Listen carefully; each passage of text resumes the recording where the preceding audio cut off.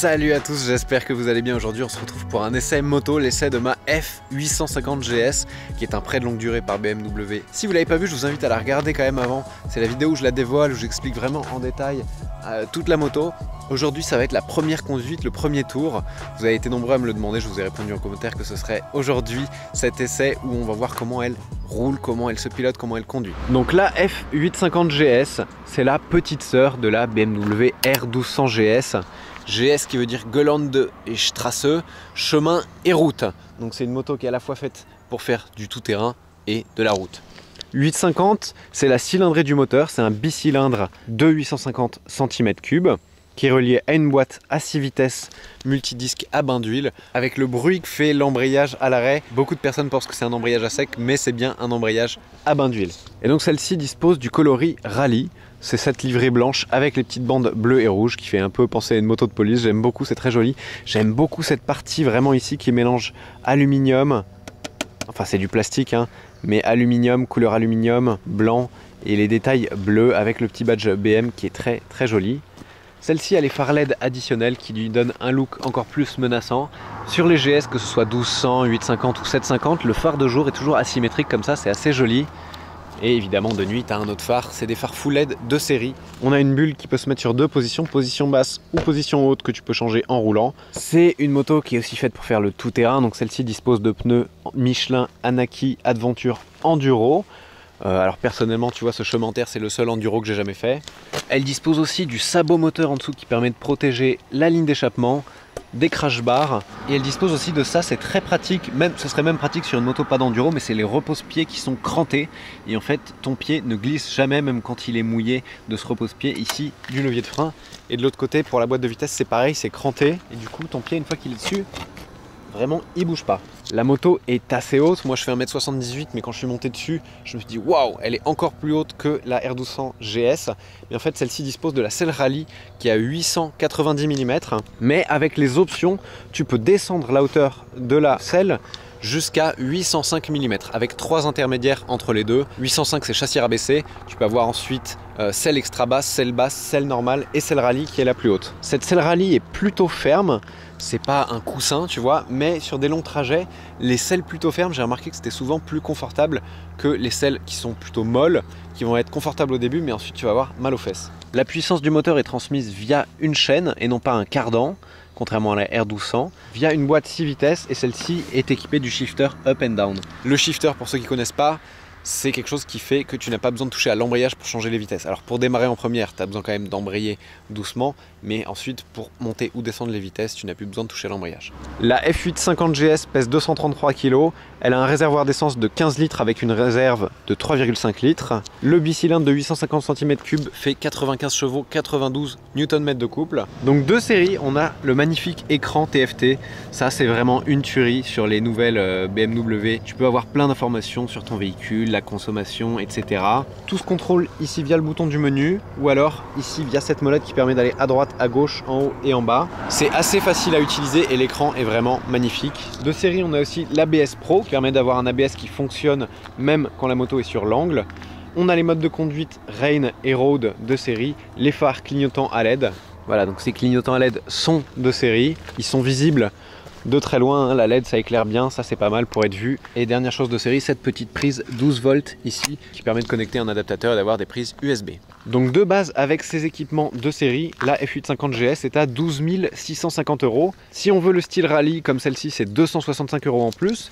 Et ensuite, la technologie, les technologies en option que tu peux avoir sur les BMW Motorrad, ça fonctionne par pack. Donc celle-ci dispose premièrement du pack confort à 670 euros, qui inclut la béquille centrale, les poignées chauffantes qui sont chauffantes sur trois niveaux.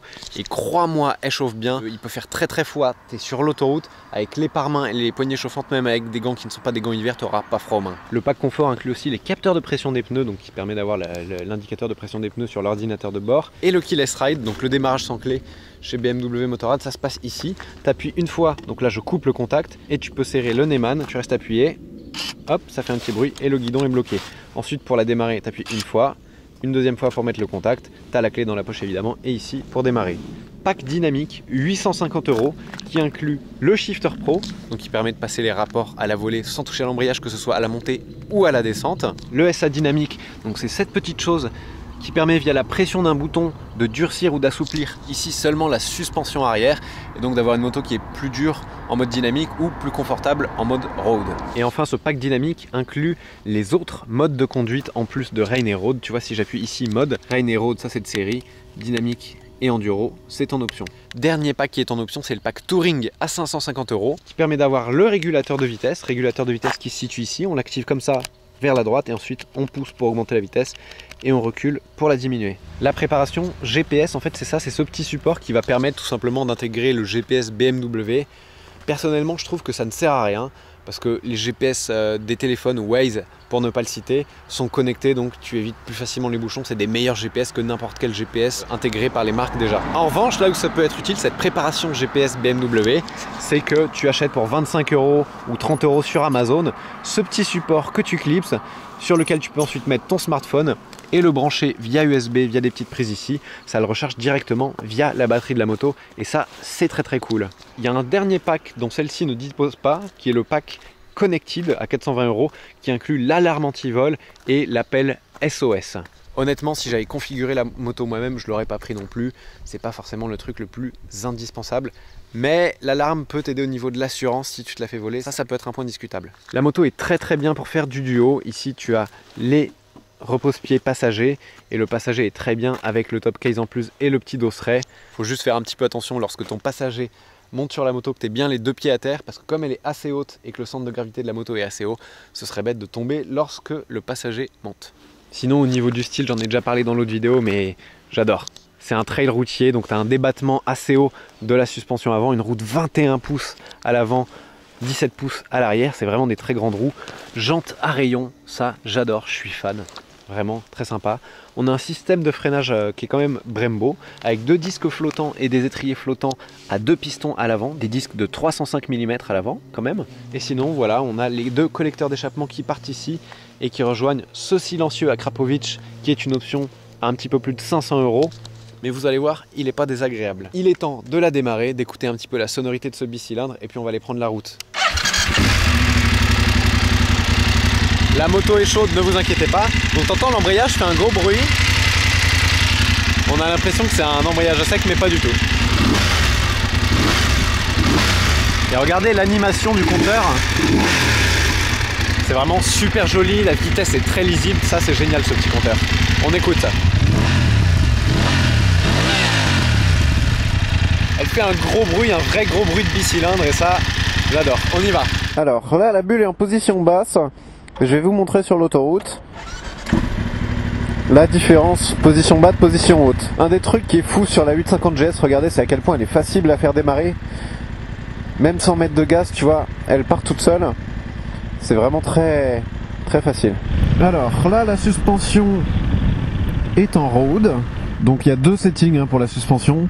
C'est que la dureté de la suspension arrière sur la F850. Hein. La suspension avant n'est pas réglable en dureté on n'a que l'arrière, donc via le SA. Hein. Quand tu mets le mode de conduite dynamique, tu vas voir qu'ici il est toujours en dynamique.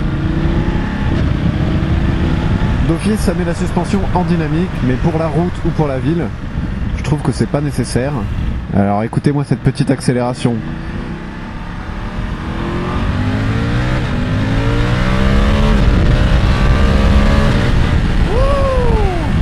Petite insertion dynamique.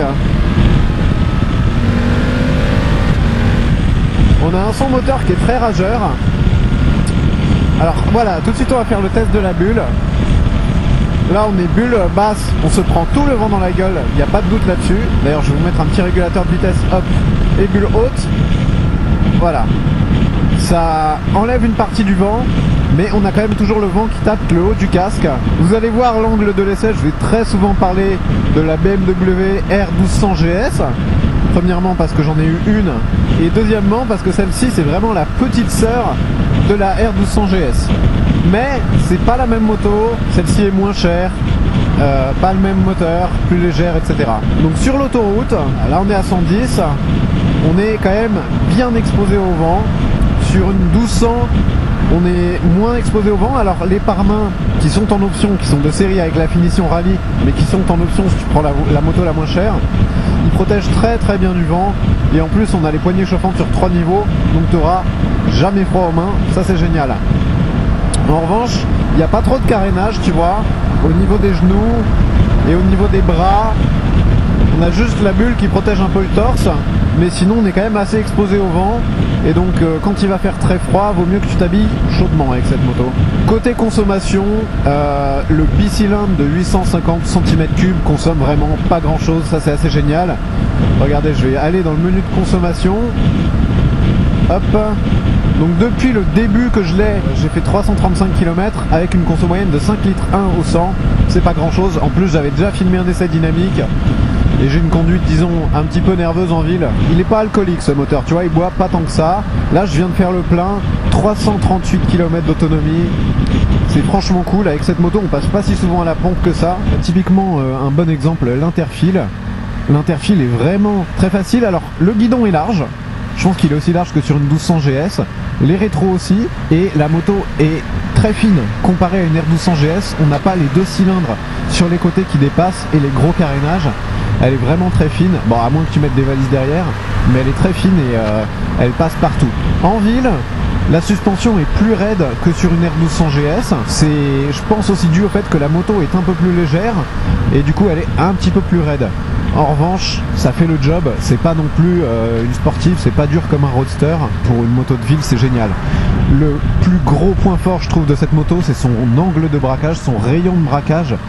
Tu peux faire demi-tour sur place, c'est bluffant, c'est incroyable. Tu te faufiles partout, sur la route, voilà, son gros point fort, moi je trouve c'est sa consommation. Sa souplesse aussi, hein. la moto est pas trop nerveuse, on est sous les 100 chevaux quand même, et tu vois si tu mets les gaz, il y a de la reprise, c'est pas de la reprise de sportive, mais c'est sympa. Et surtout, t'as ton phare à LED. Alors là, je vais pas le faire parce que devant moi, il y a un ami motard, mais je peux te dire que quand tu fais des appels de phare et que tu remontes des fils, euh, si les gens disent qu'ils t'ont pas vu, c'est vraiment qu'ils le font exprès parce que c'est hyper visible. On a le shifter, shifter qui marche très très bien. Comme sur la R1200, il est un peu rugueux, faut mettre un peu de force sur le sélecteur pour passer et rétrograder, mais euh, ça marche nickel. Je peux pas vous faire une vidéo et vous parler du son de la moto sans qu'on passe par un petit tunnel. Ce qui est sympa, c'est que ce moteur il monte vraiment dans les tours. Tu vois là, à 3000 tours, 4000 tours, 6000. Et là, il gueule. Même en cinquième, fait un gros bruit. C'est dans les hauts régimes là, le petit pot à cracher, il se met à cracher. Et là t'entends les petits pop pop pop pop en première quand je rétrograde et que je relâche. Pop pop pop pop. Ça c'est sympa.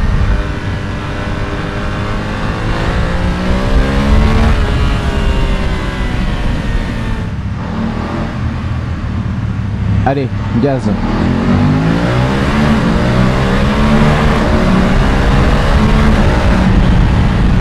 On a les petites lumières qui clignotent pour dire euh, c'est l'heure de passer la vitesse. À bas régime c'est beaucoup de basse et à régime ça se met à gueuler, euh, j'aime bien. Pour terminer, on va faire un petit peu de conduite sinueuse. Donc je vous ai pas fait de conduite en ville aujourd'hui, j'ai pas eu euh, l'occasion de la conduire en ville pour la vidéo, mais je vais vous expliquer comment elle s'apprécie et comment elle se conduit en ville. Alors son point fort c'est qu'elle passe partout parce qu'elle est assez fine, ça je vous l'ai dit. Son point faible c'est que malgré le fait qu'elle soit plus légère qu'une 1200 GS, le moteur est plus haut et donc son centre de gravité est plus haut. Ce qui rend son équilibre un petit peu, un petit peu moins bon, un petit peu moins intuitif que une 1200 GS. Une 1200 GS, c'est impressionnant quand tu l'approches, tu dis c'est une grosse moto et c'est le cas. Mais une fois que tu es monté dessus, c'est un vélo. Donc quand tu vas la prendre en main, c'est ça qui va être un tout petit peu, un tout petit peu perturbant au début. C'est vraiment de gérer l'équilibre de la moto quand tu t'arrêtes parce que tu es quand même assez au perché. Moi je fais 1m78, j'ai seulement les pointes des pieds qui touchent le sol. Celle-ci a la selle rallye, donc c'est la selle la plus haute, si je ne me trompe pas, 890 mm. Mais c'est pas si perturbant.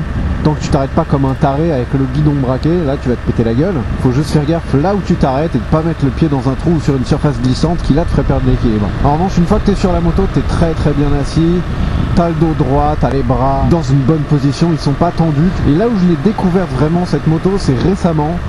Euh, ça fait trois mois que je l'ai mais c'est récemment, c'est quand j'ai fait une balade, et c'est vraiment en mode balade que je l'ai découverte, où elle a pris tout son sens. parce que la suspension est agréable. Elle n'est pas aussi souple qu'une 1200 GS, mais t'as quand même un très grand débattement. Elle est un petit peu plus ferme, tu sens plus les aspérités de la route, mais t'as toujours cet effet un petit peu qui rebondit, qui fait qu'elle est très confortable. Et vraiment en mode balade, le côté souple du moteur est très agréable. Tu vois, t'as quand même des reprises si tu veux mettre des gaz.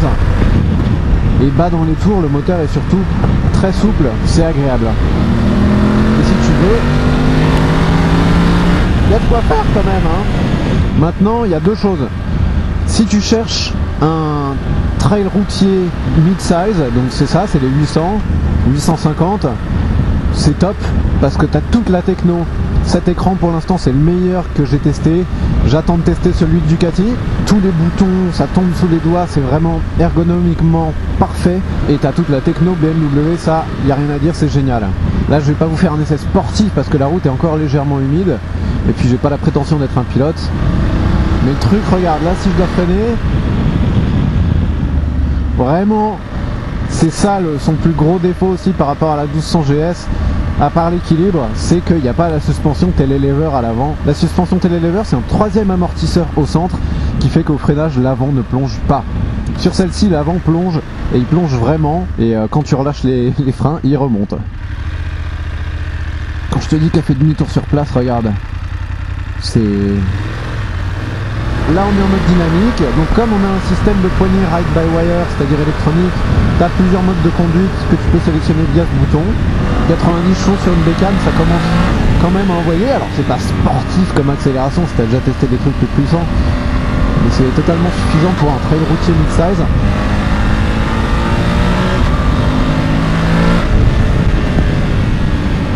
Alors elle se lance pas autant dans les virages qu'une 1200 GS avec le moteur qui est très bas et où là c'est vraiment limite tu la guides uniquement par la pensée. Ici il faut travailler un peu des bras. Tu sais où tu places le train avant, tu vois, t'as pas le poids de la moto qui va t'emmener euh, à l'extérieur euh, ou alors euh, qui va te perturber. Elle est bien, elle est bien plutôt bien équilibrée. Personnellement j'aurais pas mis ces pneus un petit peu tout terrain là parce que moi je fais plutôt de la route, je fais pas tout terrain.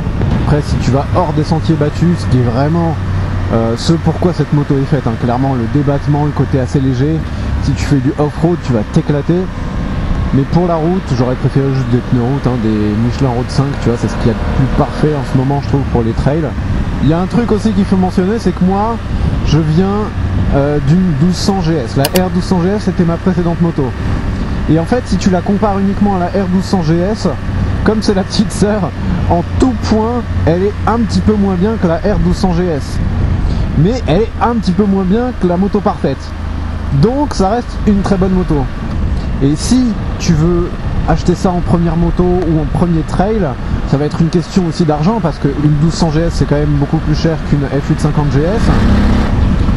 T'en auras pour ton argent. Hein. Ici, euh, ça reste une très bonne moto avec de performance quand même. C'est pas ridicule. T'auras juste pas euh, le côté magique de l'équilibre du flat twin de la R1200 ou R1250 si t'as encore plus les moyens, ni la sonorité et la patate à bas régime qu'à la R1200. Un des défauts, je trouve, de cette moto et de ce moteur, c'est le manque de couple à bas régime. Tu vois, dans les tours, il y a ce qu'il faut, mais là, en dessous de 4000, ça tire pas assez, je trouve, ça tire pas énormément sur les bras. Alors je sais que c'est pas du sportif, qu'on n'est pas sur un 1200, etc. Mais tu vois là, quatrième 50 km/h, c'est pas euh, ça, tire pas hyper fort sur les bras. Ça c'est un petit peu dommage. C'est renforcer cet effet un petit peu de manque de peps à bas régime par la poignée de gaz qui je trouve euh, est pas assez direct. Alors peut-être que c'est lié juste au manque de couple du moteur à bas régime mais tu vois là je tourne et il se passe pas grand chose en fait au niveau de la poignée des gaz. Ça c'est un peu dommage. Et c'est dans les tours que le moteur prend vie. En fait c'est sympa ce moteur, il a, il a du caractère euh, à tous les régimes parce que il y a des grosses basses, tu vois, à bas régime, avec ces petits pop pop pop. Et à haut régime, il se met vraiment à, à grogner, tu vois.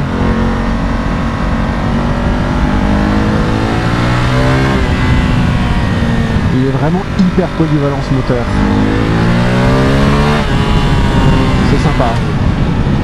L'heure du bilan pour cette F850 GS, bah disons que si tu viens d'une R1200 GS comme moi, tu pourrais être un petit peu déçu parce que euh, c'est ce que je t'ai dit, en tout point elle va être un tout petit peu en dessous de sa grande sœur, qui est la moto, la meilleure moto du monde. Mais si c'est ton premier trail routier, tu vas kiffer parce que T'as un bon châssis, ça freine fort malgré le fait qu'elle plonge.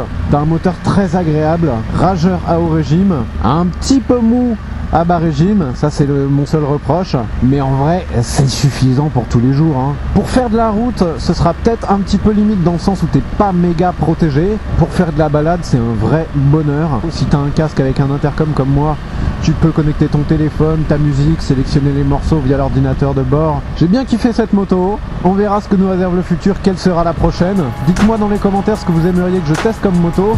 Merci de votre fidélité, j'espère que vous avez kiffé cette vidéo. Si c'est le cas, n'hésitez pas à mettre un pouce vers Et je vous dis comme d'habitude à très bientôt pour la prochaine vidéo. Ciao